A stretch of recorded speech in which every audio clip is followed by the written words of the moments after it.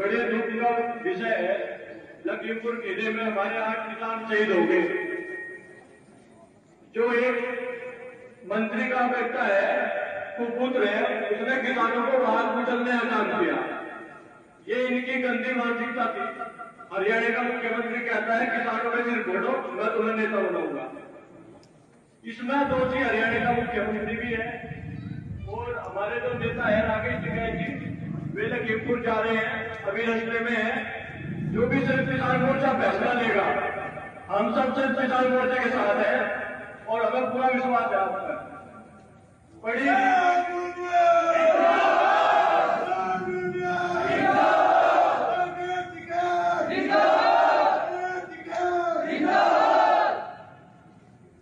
तो जो भी फैसला संयुक्त किसान मोर्चा लेगा, वो हमारे सर्वत्र होगा, जो भी।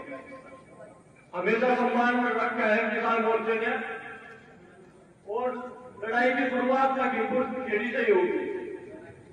और अभी रास्ते में है तो साहब जैसे वहाँ पहुँचेंगे, वहाँ की स्थिति बहुत खतरनाक है नेट वगैरह भी उन्होंने बंद कर दिया, जिस सूचना मिल रही तो अभी सब तैयार है पूरी उम्मीद है आपसे।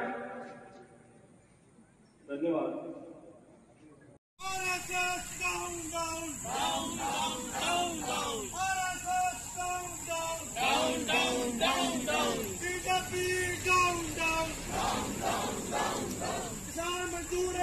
Jindabad! Jindabad! Jindabad!